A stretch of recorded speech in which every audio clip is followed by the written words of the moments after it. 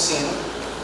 Alam nyo, nung create ang ating diocese noong 2003, ang ebanghelyo natin ngayong araw ang naging inspirasyon ng ating moto. Sa ebanghelyo ngayon, nanalangin si Jesus para sa mga naniniwala sa Kanya at para sa pagkakaisa. Maraming pwedeng ipadalangin si Jesus, pero bakit kaya pagkakaisa? Well, siguro hindi na rin nakapagtataka.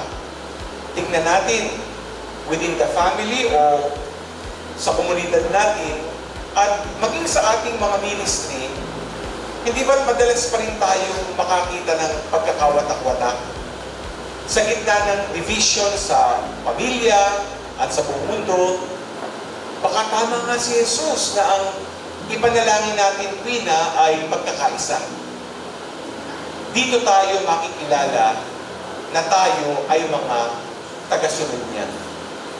Ikaw, sa gitna ng mga hidwaan, handa ka bang manalangin at maging instrumento ng pagkakaisa? Gina! Gina, Bishop, bilang tugon sa hamon na ito, naalala ko ang kaklase ko sa noon sa seminaryo. Nung hapon na iyon, sinabi niya sa akin na sana namatay na lang ang tatay ko. Hinihiling niya ang kamatayan ng kanyang tatay sa gitna ng kahinaan ng kanyang mga ama at pagkakamali. Ngunit ang sinabi ko sa kanya, maswerte ka nga, may tatay ka pa. Samantalang ako, naghahanap ako ng tatay na magpaparamdam sa akin ng pagmamahal na ito. Kaya sinabi ko sa kanya, kahit balig-baligtarin mo man ng mundo, tatay at tatay mo pa rin siya. Kaya dapat matutunan mo siyang mahalin sa gitna ng kanyang pagkakamali bilang isang ama. Makalipas ang mga ilang buwan, nagulat ako nang biglang magpasalamat ang kaklase ko sa akin.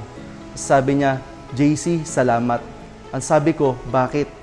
Ang sinabi niya ay, dahil nagkaayos na kami ng tatay ko. Na-realize ko ang mga sinabi mo sa akin na dapat ko talagang mahalin ang tatay ko sa gitna ng ka- kanyang mga pagkakamali. Dahil tulad mo, walang isang amang magparamdam sa iyo nito. At maswerte ako dahil buo ang pamilya ko.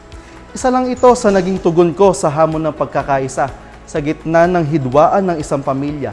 At sa tingin ko, ginamit akong instrumento ng Diyos para sa klase ko upang ma-realize niya ang pagiging swerte dahil meron siyang buong pamilya sa gitna ng mga tao na nag-aasam ng mga pagmamahal na ito.